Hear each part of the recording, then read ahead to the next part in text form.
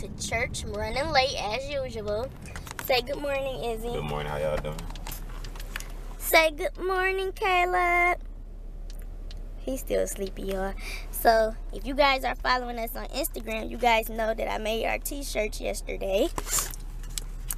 So, um, yeah, do you guys like them? Uh-oh. My bad, y'all. I didn't drop y'all. But, um, do y'all like them?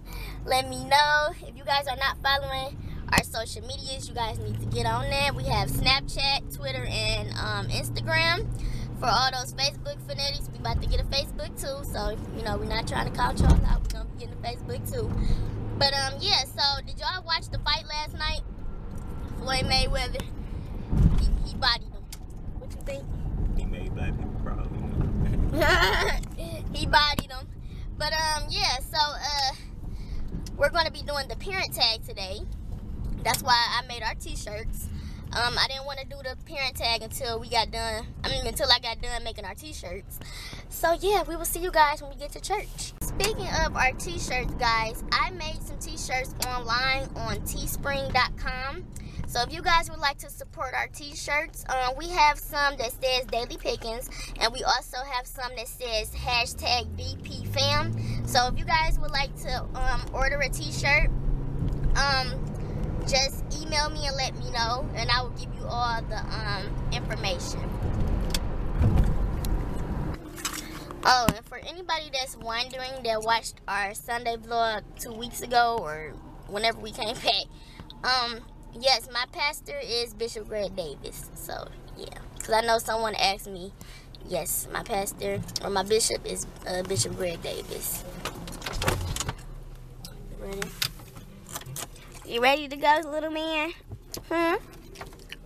Caleb, you ready to go in, Stinky? He like, just get me out the car. and uh, I need to rejuvenate myself and just listen to the word today.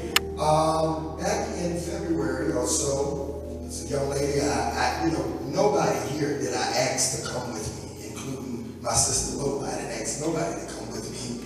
Uh, but this one young lady, and she's been my daughter since um, she was 15 years old at Second Unity Full Gospel Baptist Church when I pastored here. I asked her, many of you don't know, but Pastor Dana uh, was pastor in the church, amen. Uh, Rochelle and some others were with her. She shut her church down. I didn't ask her to, amen. But how many know when somebody believe in you, amen, they'll go all the way. She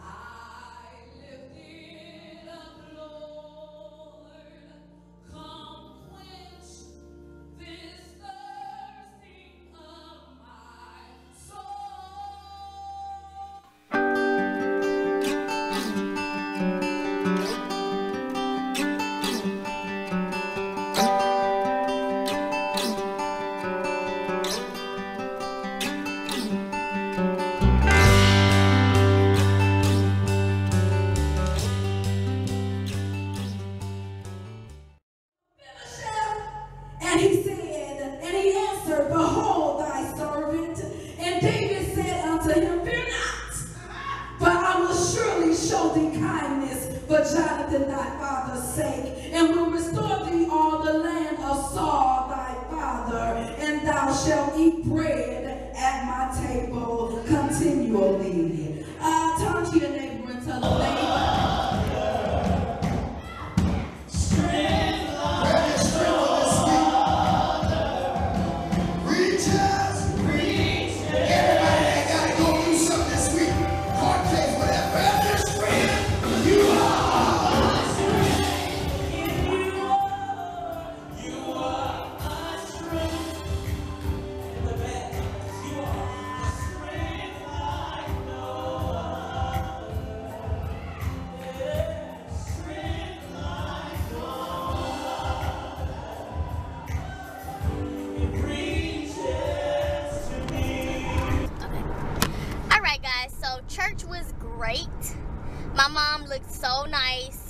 little white blouse, and her blue skirt. She was so pretty. But um, so we actually just left my mom's house. After we left church, we went straight to my mom's house to record our parent tag.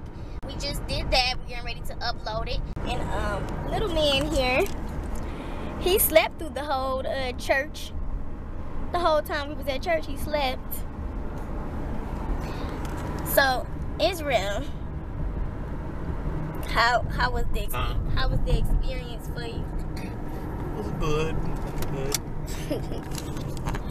I'm trying to get him into um coming to church with me more often. He uh he don't really like it. So but I'm trying to I just.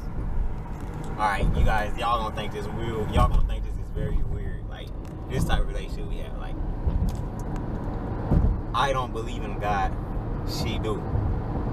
But I'm not knocking her for that, and she don't knock me for it either. So when she go to church, I don't have a problem going to church with her, sitting there and receiving the word with her, because she's enjoying it, and I, I have fun with her sometimes. It's better than her last church. Her last church was bougie. Yeah, my last church, they was so I'm not gonna say negative, but they were like really judgmental. And you don't come to church to be judged. So you guys remember when I was telling you that we were gonna get the car fixed? When was that? Yesterday? Okay, so that night that we were um that night that we were on our way home from Walmart, the car stopped on us. Like no, it didn't stop. It turned Like off, it turned off. but had enough power to keep driving. Yeah, it, it turned off, but it still was drive. Like we could still drive. And we were on the freeway, and Israel was speeding, getting I home. We, I was so scared, y'all. Like I was so freaking scared. And um, we had the kids with us, but you know we had to get home. I was telling Israel like, why don't you just pull over? But even if we would have pulled over, we wouldn't have had nobody to come and get us. We would have just been stranded. So he just like raced all the way home. And I know that's probably dangerous, y'all but we had to do what we had to do. And um, we made it home safe. Thank God, we made it home safe. And uh, yeah, like, and we had to. He had to go the next morning to get the um alternator fixed. Wasn't that the alternator you had to get Yeah, fixed? killed my power. Yeah. So we had to get the alternator fixed. The alternate, the alternator, right? I'm saying that right. Alternator. Yeah, he had to get the alternator, the, the alternator fixed. he had to get the alternator fixed or whatever. So now, what did you have to get fixed the other day that we didn't get fixed? What was that? The little right control arm. You still got now. We still have to get that fixed. But yeah, guys. So that was something that I was like, oh my god, like I was so scared, y'all. Like we literally had to speed all the way home because we didn't want to stop on the freeway at mid. And then the freeway was somewhat packed. So even if we wanted to get over, we probably wouldn't have been able to because it was so packed, y'all. So packed. And like we were like we was like in the middle lane and it was like cars on the side of us. So we was getting upset about the money and stuff. We want to say thank you guys to all of you all for the encouraging words when I was telling you guys about the negative comments that we were getting and all of you guys were telling us, you know, like to just delete them and you know. So we really appreciate you guys. And back to what I was saying about um about the car and everything. So Israel, he was upset because he was like, man, you know, now that's gonna put us back for moving when it comes to the money thing. And I'm like, you know, we just have to, you know, stay positive about it. Cause he was like saying stuff about um he wanted to get my permit that week. Yeah, but that's what I was gonna do. I was gonna go and get your permit, but when the car went out, like that was a three hundred and seventy-five dollar job, and I'm like, man, I just spent half my money on my on the on the kids and the other parts of the car, and I'm like, oh. I thought I was saving something, then that problem come. I'm like, man, I hope he don't tell me no big amount, and he told me a big amount, and I'm like, oh man. Hmm. So now I'm broke, but we gonna bounce right back like we always do. So she's just telling me to stay positive, so I'm just go ahead and stay positive, cause like she said, we already know the result. We keep grinding, we gonna get money regardless. Exactly. And like like I said, everything is gonna fall into place. When it's time for us to move, we're gonna move. So, you know, we're not really tripping about it. And then we're not really looking to move until October, November anyway. And I mean, if we have to wait till December or January, it is what it is. You know, we will get a place when it's meant for us to get a place. Mm-hmm. But anyway, guys, we are on our way home. So we will see you guys in the next vlog. Bye, guys. Say bye. Bye bye. little stinky. He like, forget y'all. Thanks for watching. Subscribe for more updates. Bye, guys.